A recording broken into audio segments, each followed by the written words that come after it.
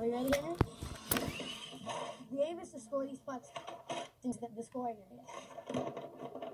So I, I did competitive robotics starting when I was 11, and I took it very, very seriously. To, to give you a sense, I won the Robotics World Championships for the first time when I was 13. Been to Worlds seven times between the ages of 13 and 20-ish. Uh, I eventually founded a team, did a lot of work at a very high competitive level. Things looking pretty good. This was a prototype of sorts, from which he has built his multi-million dollar company. Hadn't built a robot in a while, wanted to get back to it, and felt that this was by far the most exciting piece of robotics technology that was up and coming. A lot of people told us we wouldn't be able to build it, uh, but knew roughly the techniques that you would use. Uh, and I was pretty confident that if you put them together, you would get something that worked. Took the summer off, built in my parents' garage a golf cart that could drive itself.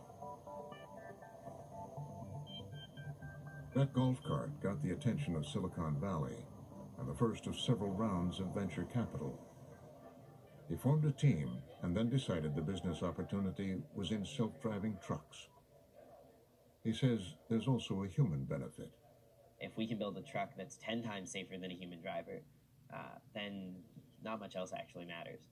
When we talk to regulators, especially, uh, everyone agrees that the only way that we're going to get to zero highway deaths, which is everyone's objective, is to use self driving.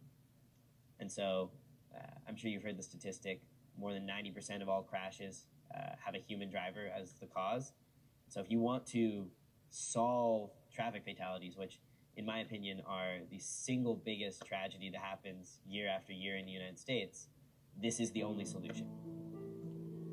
So what it's they say is goal, but only possible because of the recent breakthroughs. they're going to be learning. making a lot of robotics, Artificial trucks, and one of all kinds of stuff. that And guess has what? made it A lot of that stuff is going to put people where it wasn't out possible of work, 10 years out ago. of jobs. particularly in the ability to see and understand scenes.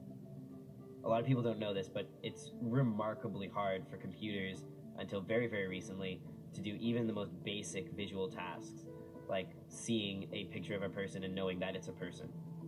And we've made gigantic strides with artificial intelligence and being able to see and understanding tasks, and that's obviously fundamental to being able to understand the world around you with the sensors that, that you have available.